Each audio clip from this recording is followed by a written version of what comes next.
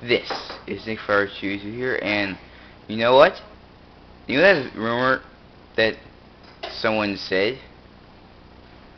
Yes, I am talking about you know who. Alright, so anyway, so then, here's the next. This is Spectra Phantom from New Vestroia. Remember that. But wait, in the preview, take note of Spectra now. Do you notice anything different between the two Spectras? What's the thing you notice? Yep, that Spectra is dark, looks darkest and it changes color. So wait, what could this be a possibility of? Well, guess what? Look at this. What could we be doing in, in, in this? Well, look at this. Infinity Helios. And, well, that's what it looks like. And guess what?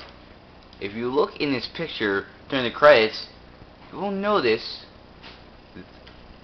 Oh, come on. Oh, I mean, that computer does that. You notice this.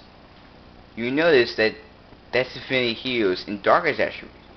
We're still unknown about these two, but that means, yes, this is a possibility of I repeat, a big possibility of Spectra Phantom being the Darkus Brawler in Mechtanium Surge. And that is the rumor that was started previously in Nick 542 News.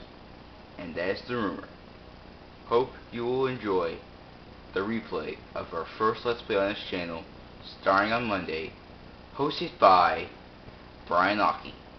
Thank you for watching. We hope you enjoyed this. And we'll see you guys next time. Later, folks.